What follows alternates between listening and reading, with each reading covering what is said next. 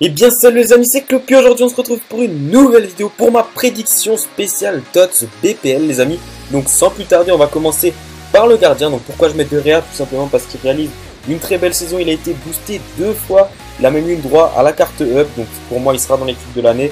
Et puis euh, vous allez voir sur le banc j'ai mis un autre gardien qui je pense a aussi sa place euh, dans cette équipe là tout simplement. Ensuite défenseur droit je mets Ivanovic, même si j'aurais pu mettre Zabaleta à la place, parce que voilà, ils, réalisent une belle performance tous les deux. Euh, Zabaleta a, été up, je crois, sur FIFA. Euh, Ivanovic a une carte boost déjà.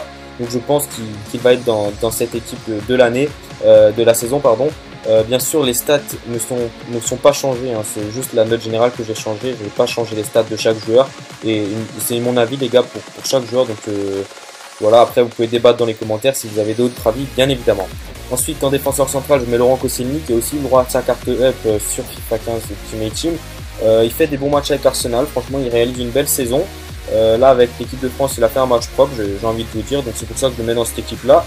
il est là quand il faut, même si des fois il fait quelques erreurs, mais je pense qu'il pourrait avoir sa carte top dans cette équipe de la saison.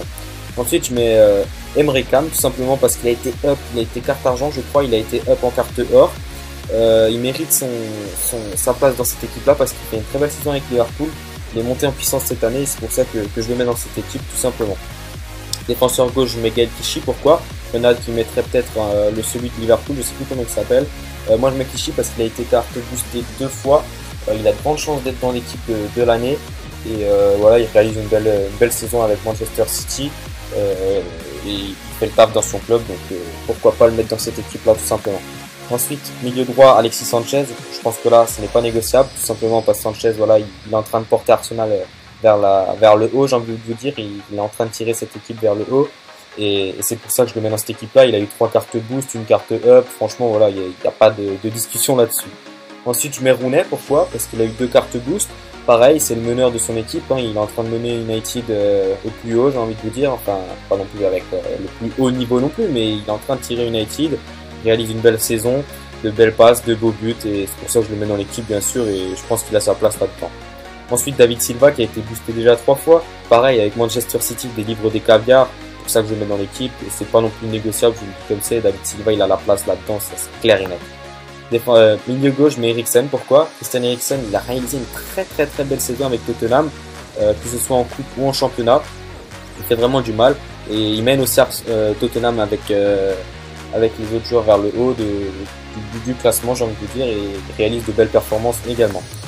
Le buteur, bah voilà, Kane, Kane l'avant-centre de, Tottenham. Pourquoi? Parce que voilà, Kane il a explosé cette saison. Il a commencé pute avec une carte de 68 de général, si je dis pas de bêtises. Il a déjà une carte boost en argent, une carte up, une carte boost en or. C'est sûr qu'il va avoir sa carte top. Ça, vous pouvez en être sûr, les amis.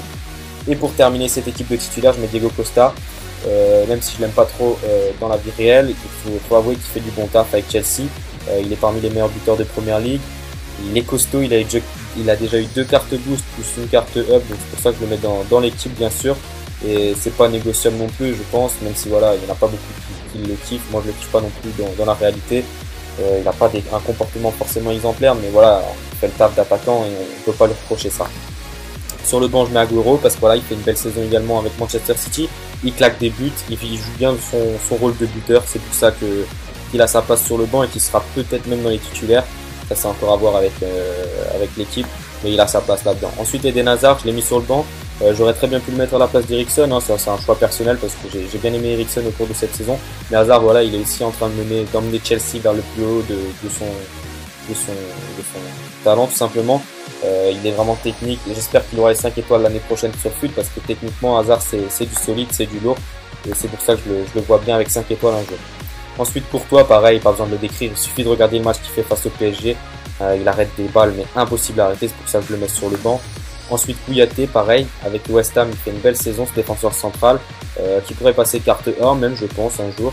Euh, à voir parce que ça risque d'être du sale, je, pense bien les amis.